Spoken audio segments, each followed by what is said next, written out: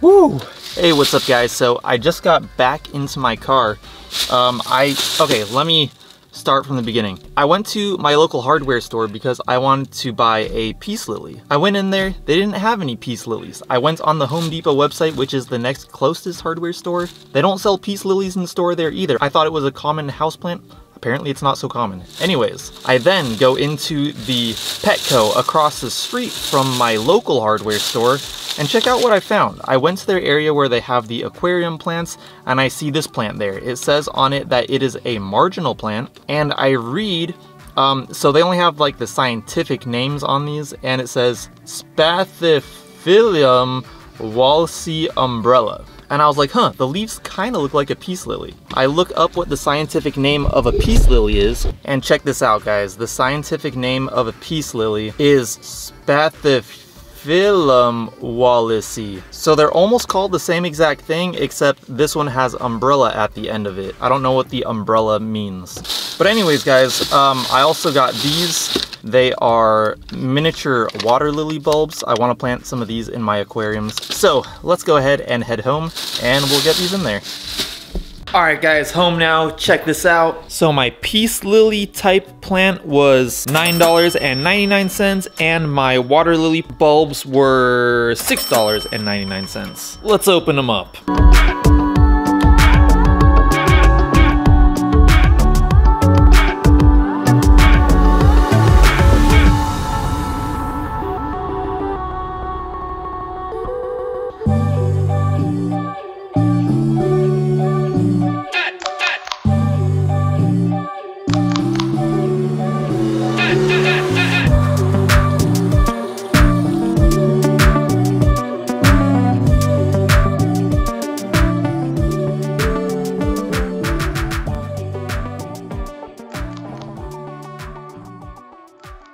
So I think I mentioned earlier this is a marginal plant, so you cannot submerge the whole thing. I'm just going to submerge it like up to the top of the roots, like probably to like right there, and keep the rest out of water, and that should be it. And this right here is a suction cup, and I just tied it to the plant with some thread. This is the method that I use to add other plants to my aquariums, like my pothos. In my 15 gallon, as you can see, I, I did the same thing with the pothos.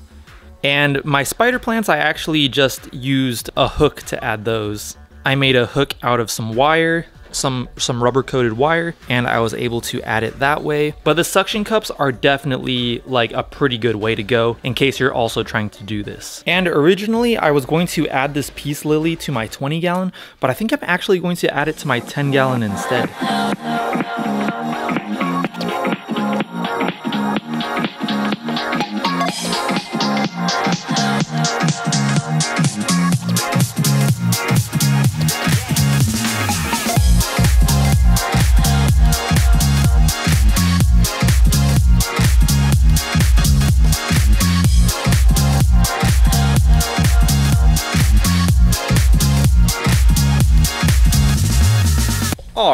Alright guys, I think that looks pretty cool. Let's go ahead and check out these water lily bulbs.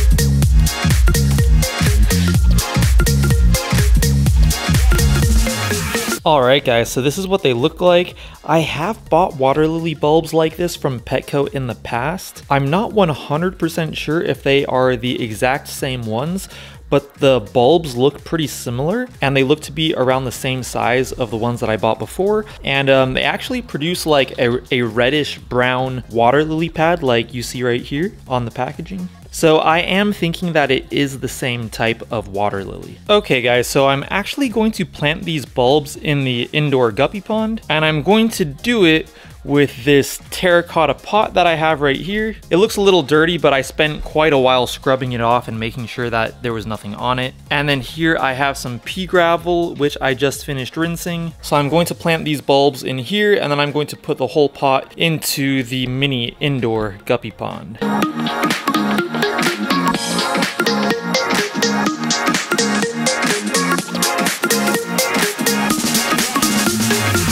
So in my experience with water lily bulbs, um, you don't really need to cover much of the top of them. Like this is the top right here of one, that's another one. You just want to cover enough of them to where they don't float up. So hopefully that'll be enough to hold these down. Let's go ahead and get it in there.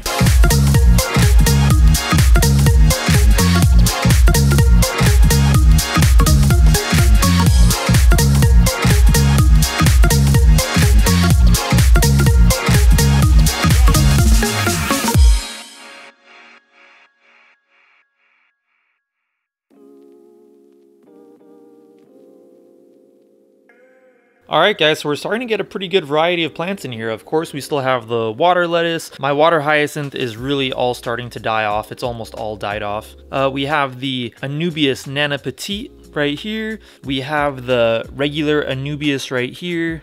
We have the guppy grass like growing all over the place in there. And now we got those water lily bulbs. Hopefully those will grow pretty soon. And while we're here guys, I just want to give you guys a quick update on this 15 gallon tank. First of all, check out the spider plants. They are growing like crazy. I've really seen a lot of progress in their growth. And as you can see, I've gotten almost all of the fish out of here, all the adult guppy slash Endler guppy hybrids. Um, I think that there's only maybe like three or four adults left in here. As you can see, there's two over there. They're extremely hard to fish out with the net. I'm having a really hard time getting those. But yeah, there are only a couple left in here. And once I do get all of those out of here, I will be moving some of my mosaic guppies into that tank. And the mosaic mosaic guppies are the type of guppy that I have inside the indoor guppy pond. And the 20 gallon is doing pretty good too. It is quite overstocked at the moment, but it's just going to be a temporary thing until I can get all the mosaic guppies out of the indoor guppy pond. And these guys will be going in there. And I do have a quick message for you guys, but before I do that, I have three shout outs for today's video. I have a shout out for Jason Soeda, the Tattooed Ronin, and Joshua Santos. Thank you guys so much for being Aquamigos. I really appreciate your support. If any of you watching this video would like a shout out in my next fish video, all you have to do is go down to the comments below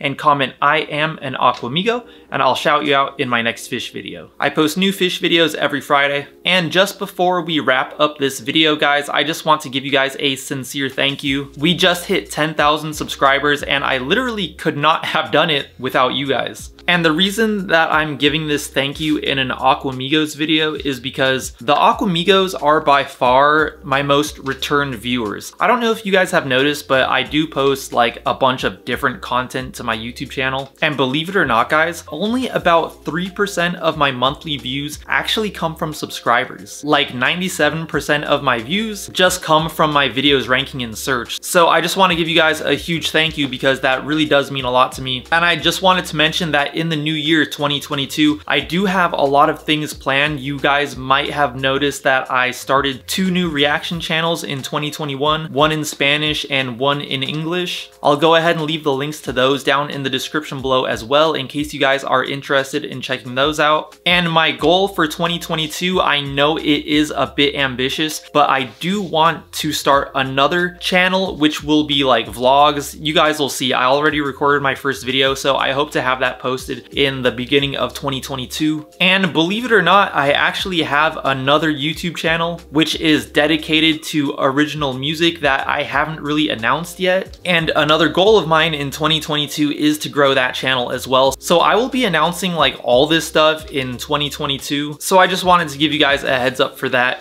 And I know a lot of you guys are waiting for my pond build. Right now, I am planning on starting the pond build in early 2022. So just stay tuned for that. I still have to research exactly what I'm doing and I'm going to do it legit. I'm going to do it as legit as I possibly can. I'm actually going to draw out a plan and everything. So it's not necessarily something that I want to rush because it is going to kind of cost me a lot of money to do.